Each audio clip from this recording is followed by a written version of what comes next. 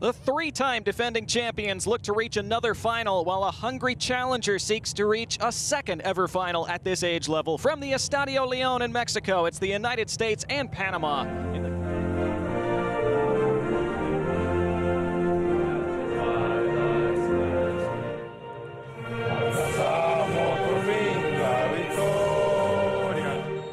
Let's enjoy this semifinal together. We're in motion in Leon in the CONCACAF U20 semifinal.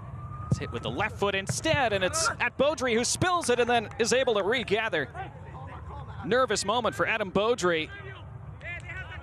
Not his cleanest, but he was able to recover. Hit with good.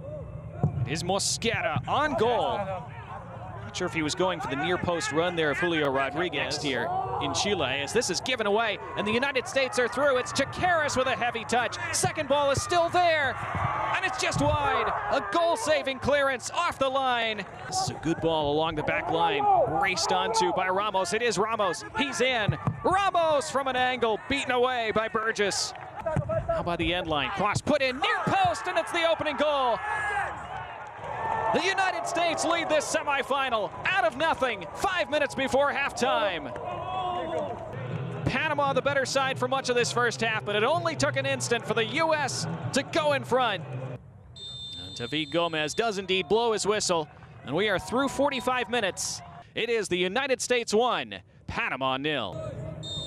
And here we go in half number two in this semifinal. The first semifinal of the day with Mexico playing Cuba later tonight. Aymar Modelo serving it backside, and they're in, but the whistle is gone. The ball's in the back of the net, but it won't count. Maybe handball. The ball did come up perhaps off his right arm here. Does it? Yes. Yes, that's what was called. Defenders not letting him do that. He plays it wide to Modelo. Modelo with a step over. Then with his left, Modelo on target. Eintracht Frankfurt Academy.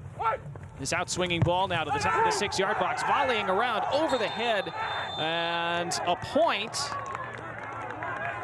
What is the referee given here? He's given the penalty. And he responds emphatically. Mosqueda scores. It's 1-1 in the semifinal. Two Panamanian defenders there. Bouncing ball. Vasquez around it. Acrobatic bicycle kick. Partial clearance only to Brooklyn Raines who scores! Brooklyn Raines from downtown may have put the United States back in another final. Another look at that golazo from Brooklyn Raines. Just incredible.